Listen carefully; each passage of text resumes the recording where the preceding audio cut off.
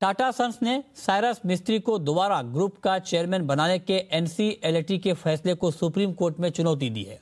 सूत्रों के मुताबिक टाटा सन्स ने अर्जी में कहा है कि एनसीएलटी का साइरस मिस्त्री को कार्यकाल खत्म होने के बाद भी चेयरमैन नियुक्त करने का आदेश ठीक नहीं है।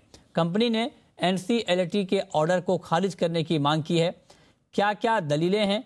टाटा सन्स की इस पर बात करने के लिए हमारे साथ जी मीडिया संवाददाता ब्रजेश कुमार जुड़ चुके हैं। ब्रजेश, बताइए क्या दलील है और किस भरोसे के साथ टाटा सन्स पहुँचा है सुप्रीम कोर्ट?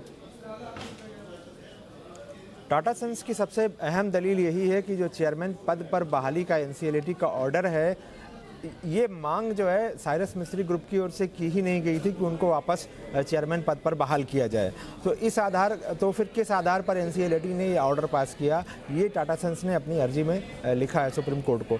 इसके अलावा जो एक और बात कही गई है टाटा सन्स की अर्जी में, ये कहा गया है कि इससे गलत किस्म की कानूनी परंपरा शुरू हो जाएगी। अगर आप किसी कंपनी के जो चेयरमैन हटाए जा चुके हैं, उनको आप फिर से बहाल करने की बात कहेंगे तो इससे गलत कानूनी परंपरा शुरू होगी।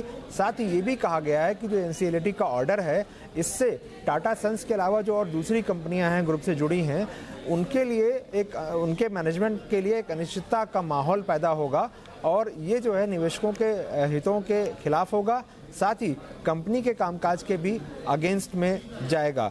एक और बात जो जिसको चैलेंज किया गया है एनसीएलटी के ऑर्डर के उस हिस्से को, वो ये कहा गया कि कंपनी का आर्टिकल 75 जो है टाटा सन्स का, उसमें उसको भविष्य में उसका इस्तेमाल ना करने की जो रोक लगाई गई है, वो गलत है क्योंकि इससे कंपनी के जो अधिकार हैं उन पर जो है एक तरह से रिस्ट्रिक्शन लगेगा।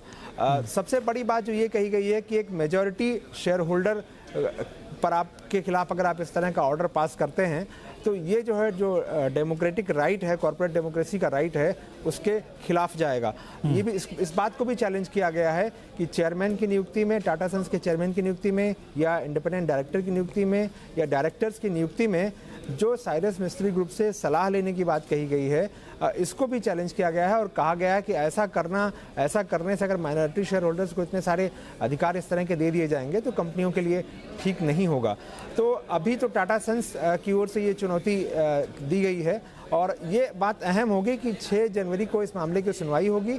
एक लिहाज से अहम ये भी है कि 9 जनवरी को टीसीएस की बोर्ड मीटिंग है। हाँ। तो मुमकिन है कि जो और कंपनियाँ इस एनसीएलटी के ऑर्डर से प्रभावित हुई हैं ये भी जल्दी ही सुप्रीम कोर्ट का रुख करें ताकि उनको रियायत मिल पाए और जो उनका रेगुलर मैनेजमेंट का कामकाज है उसमें किसी तरह की अगर कोई अड़चन है तो वो इस अनिश्चितता की वजह से तो वो दूर हो। ठीक है। बहुत शुक्रिया ब्रजेश आपका इस डिटेल एनालिसिस के लिए।